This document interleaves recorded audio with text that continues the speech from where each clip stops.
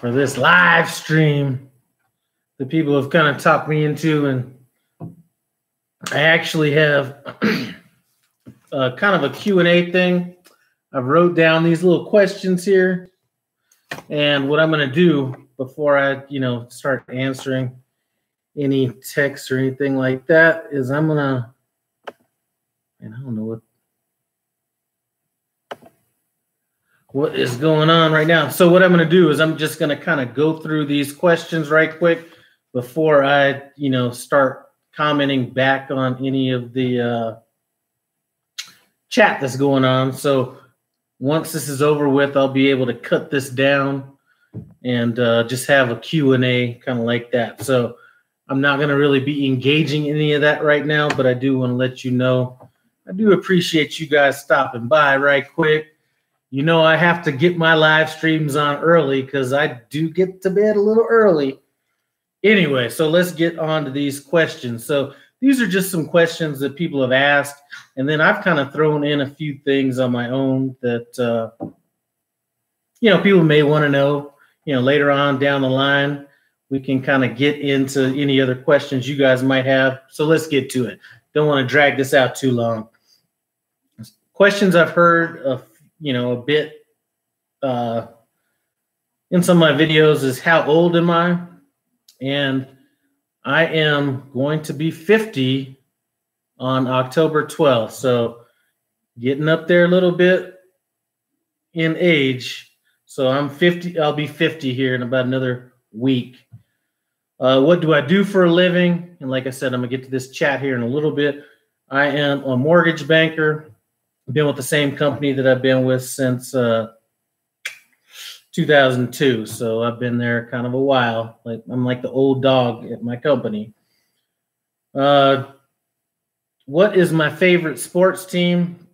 You know, Oakland Raider fan, but the way football has been this year, primarily, and going back to like the last five years or so, you know, there's more contact and you know high school girls field hockey. So I'm really not checking for football all that much uh, lately. So I think I may have watched two quarters of football this year, and I was just disgusted with it. So uh, anyway, I am a Raider fan still through and through. I may not watch it, but you know, if it keeps going the way it is.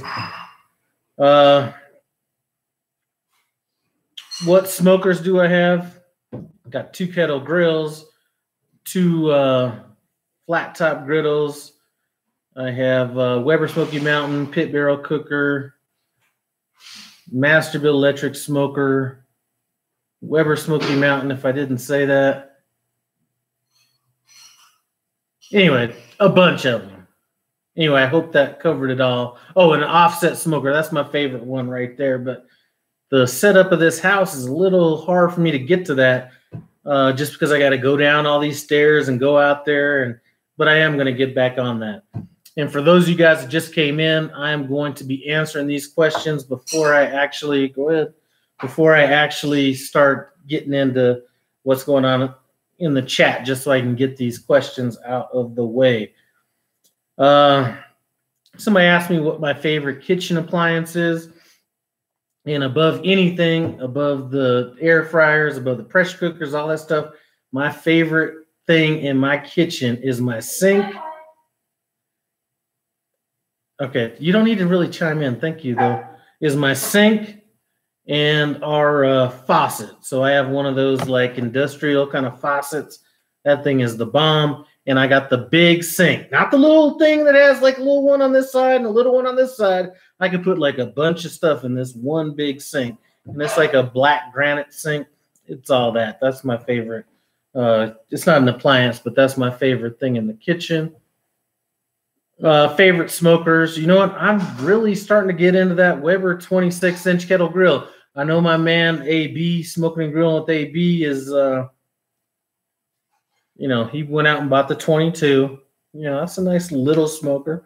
That'll get it done for you.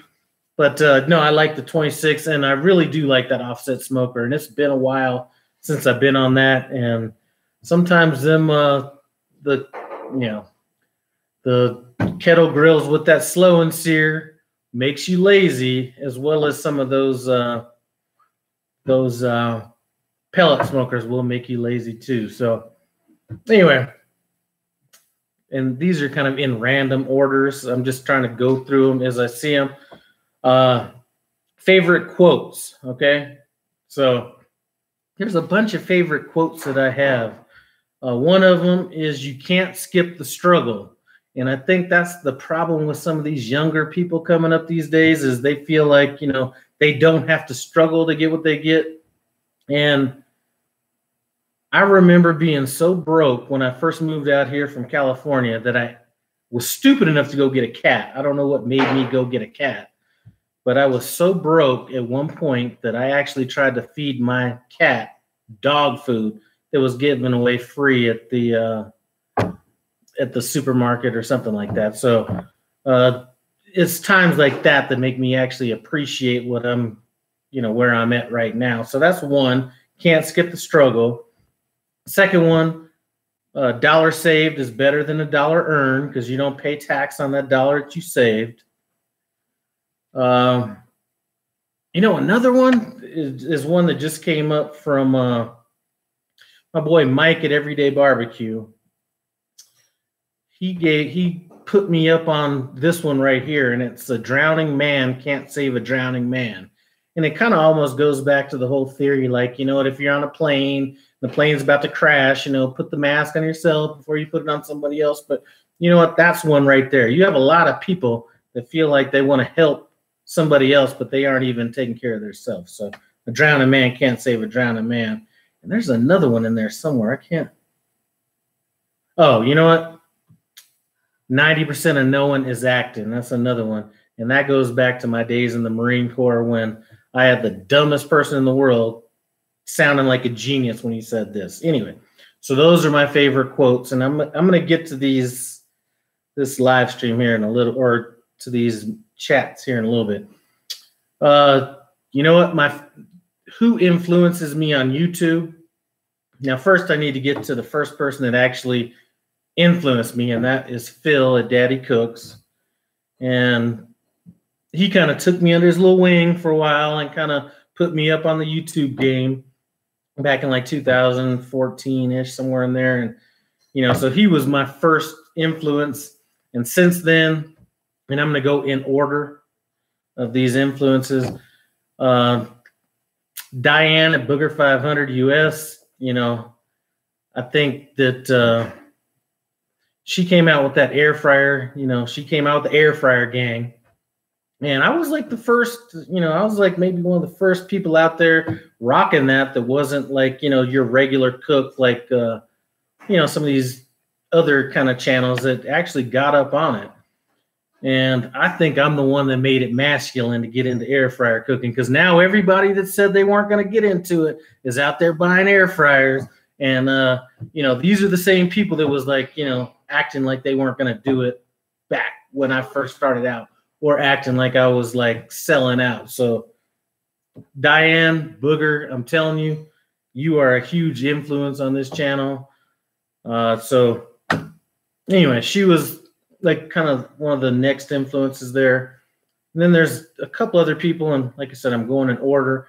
Mike at Everyday Barbecue, he's, you know, I reach out to like some of these newer channels that are coming up, and Mike was one of these guys that uh, that I kind of you know go back and forth with a little bit, and just talking YouTube type stuff.